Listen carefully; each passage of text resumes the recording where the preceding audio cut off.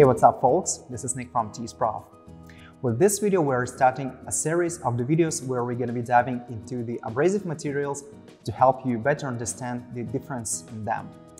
Uh, which type of metal they are used with, how they are applied, and for which purposes they are used best. So in this first video, let's consider some basics about the abrasive materials. Abrasives are substances of high hardness which are used for processing various surfaces. They are used in shaping or finishing a workpiece by friction, which results in the removal of the surface layer of the material from the processed area. They are divided by hardness, super hard, hard, and soft. Chemical compositions, uh, they can be either natural or synthetic, um, as well as by the size of the grinding grit. Coarse, medium, fine, extra fine. Uh, their grit size is measured according to the various international measurement systems like FEPA, JIS, or GOST. Their shape and hardness determine the mechanics of work in the grinding process. The abrasive grain have rough edges, often ending in dots, which reduce the contact area of the surface, due to which pressure is localized at that point. When the abrasive and the material come into contact, the force applied to the grains causes fragments of the material to break away, simultaneously flattening the abrasive grain or causing the grain to separate from the rest of the abrasive. The more firmly the grit is anchored to the abrasive layer, the less wear it is subjected to and the longer its working life. As a raw materials used as abrasives are either hard minerals from 6 points and above according to the Mohs scale or synthetic stones, some of which may be chemically and physically identical to the natural ones. The most prominent example here is diamond, which is extracted by mining and at the same time is grown artificially in the laboratory. Both versions have the same working capabilities but uh, synthetic stones are significantly cheaper. Let's now proceed to the frequently used synthetic materials in sharpening. Artificial diamond is a cubic allotropic form of elementary carbon which is synthesized under high pressure. It is used everywhere for processing of hard alloys, stone, glass, non-ferrous metals, and so on. This is one of the most popular abrasives. Speaking of the abrasive properties, synthetic and natural diamonds have the same working properties. Uh, the same crystal lattice, density, hardness, and so on. They differ only in grain shape, uh, surface quality, st strength, and um, brittleness. The average wear resistance of this kind of stones is several times higher than the wear resistance of boron carbide and silicon carbide. Diamond is an almost perfect abrasive able to effectively cope with any steel, work quickly, and don't pollute the workspace too much. It is slowly produced and slowly salted, but at the same time it is the most expensive option. They are best suited for powder steels as well as for monosteels of high hardness.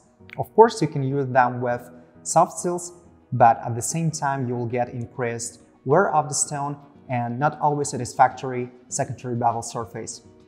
Knives sharpened with diamonds, as a rule, have aggressive cut and um, acceptable durability. Diamonds can be in galvanic, organic binder, and in the paste form. We will look at the difference between them in our next videos of this series. Silicon carbide is a binary inorganic chemical compound of silicon and carbon. It is one of the most widely used for processing various steels. Silicon carbide is harder than aluminum oxide, but more brittle, resulting in early abrasive wear. They show the best results on steels 60 HRC and above. They work excellently on powders. They are distinguished by high performance on all grain sizes. The disadvantages are that they do not work well on stainless steel with hardness of 58 HRC.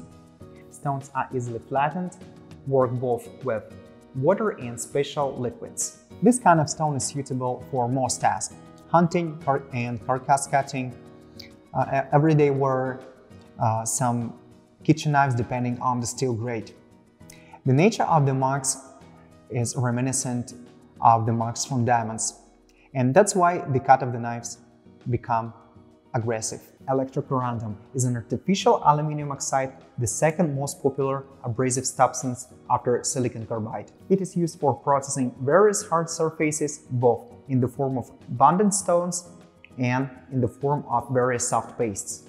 Aluminum oxide works better than silicon carbide on steels below 50H HRC and generally on soft stainless steel. It works well and softly on steels 60-61 HRC, but not so fast as silicon carbide. In contrast to silicon carbide, the aluminum oxide's minimum grain size can be less than 1 micron, and this makes possible ultrafine finishing and receives a mirror on the cutting edge.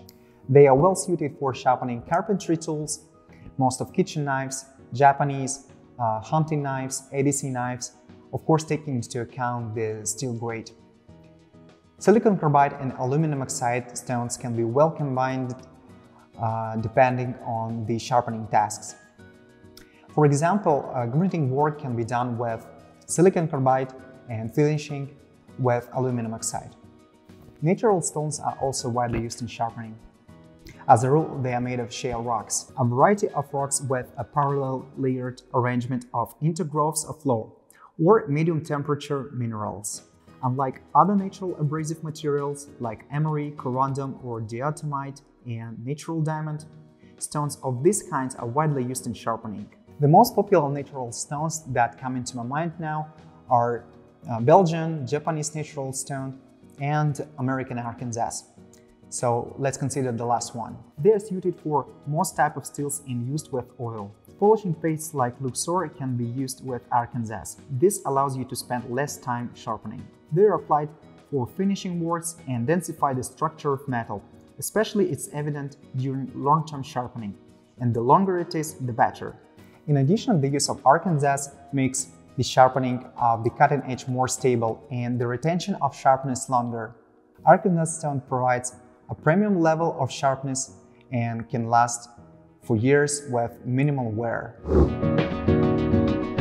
Let us know in the comments what kind of stones you are using for your knives and how you combine them. In our next videos, we will cover in details the most frequently used abrasive materials in sharpening. So guys, thank you for watching, leave your likes below and of course, subscribe to our channel to never miss more interesting videos on this subject. Take care and stay sharp.